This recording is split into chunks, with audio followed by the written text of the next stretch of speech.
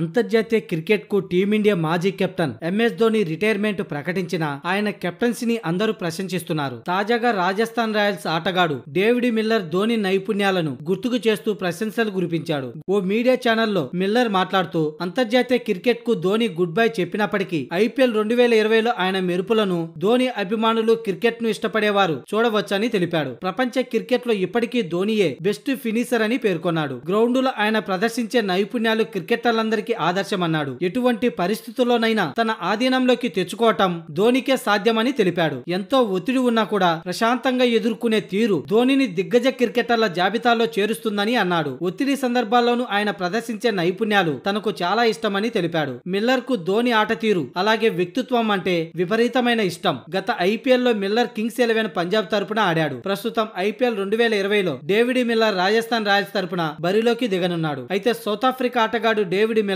అంతర్జాతీయ క్రికెట్లో మంచి బ్యాట్స్మెన్గా అలాగే కెప్టెన్గా మంచి గుర్తింపు తెచ్చుకున్న విషయం తెలిసిందే.